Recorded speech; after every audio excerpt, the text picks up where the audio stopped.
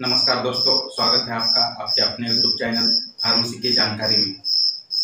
दोस्तों, आज के इस वीडियो में हम बात करेंगे यूटोरोकोक्सिप टैबलेट के बारे में।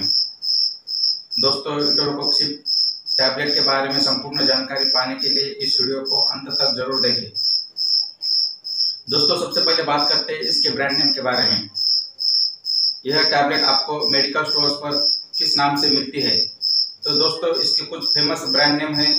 जैसे कि विटोडी 90 टैबलेट निकोजिया 90 ब्रूटाफ्लाम टैबलेट इसके अलावा और भी ब्रांड हो सकते हैं जो एरिया और डॉक्टर के अकॉर्डिंग अलग अलग हो सकते हैं। दोस्तों, अगर बात करें इसके एमआरपी के बारे में तो इसकी जो 90 मिलीग्राम की टैबलेट है, वो लगभग पंद्रह रुपए पर टैबलेट से आती है। यह जो इटोरोकॉक्सिल टैबलेट है, यह एक non steroid anti inflammatory class की मेडिसिन है। दोस्तों, अब बात करते हैं इसके यूजेस के बारे में। तो दोस्तों, इस दवा का उपयोग रिमोटॉइड्स अर्थराइटिस में किया जाता है। इसमें व्यक्ति के जोड़ में सूजन आ जाती है, बहुत ज़्यादा दर्द होता है, व्यक्ति को चलने उठने में बहुत ज़्यादा दिक्कत होती है।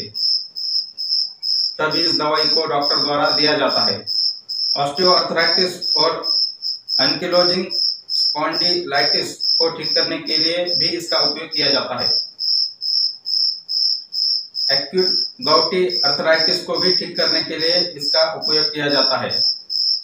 पोस्ट ऑपरेटिव डेंटल पेन मतलब ऑपरेशन के बाद में किसी व्यक्ति के दांत में दर्द होता है, तब भी डॉक्टर इस दवाई का उपयोग करते हैं।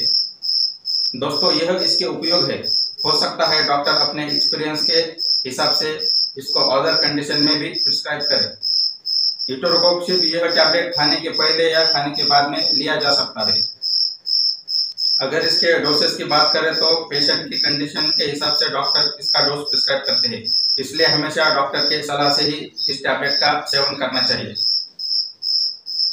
दोस्तों, अगर इसके साइड इफ़ेक्ट के बारे में बात करें तो पेशेंट को उल्टी तथा मतली हो सकती है, पेट खराब हो सकता है, डायरिया हो सकता है हेडेक हो सकता है, या फिर चक्कर आ सकते हैं। यह कुछ इसके साइड इफ़ेक्ट है। यह और इसके अलावा आपको कुछ साइड इफ़ेक्ट दिखाई देते हैं तो आप इस टैबलेट को लेना बंद करें और अपने डॉक्टर से संपर्क करें ताकि आपको फर्दर ट्रीटमेंट मिल सके। अगर इसके सावधानी के बारे में बात करें तो अगर किसी को इस दवा से एलर्जी है, अगर किसी को किडनी डिसीज है या लिवर डिसीज है, अगर किसी को हार्ट की समस्या है तो इस दवा को लेते समय अपने डॉक्टर की सलाह ज़रूर लें। तो यह थी जानकारी टैबलेट के बारे में।